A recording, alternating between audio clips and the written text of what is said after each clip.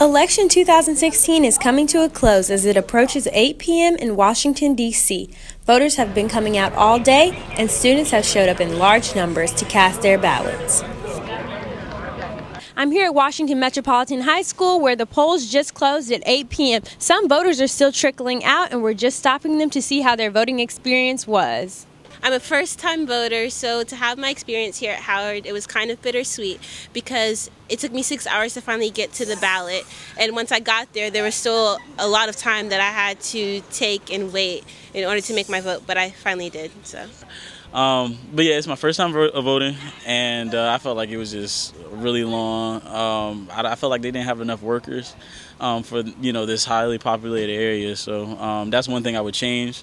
If they could have you know more workers, that would definitely get me to you know vote you know in the next election. Because after today, I'm just like uh, I don't know if I want to do it the next time, or maybe you know next time I would do the absentee ballot, and so that would be you know faster.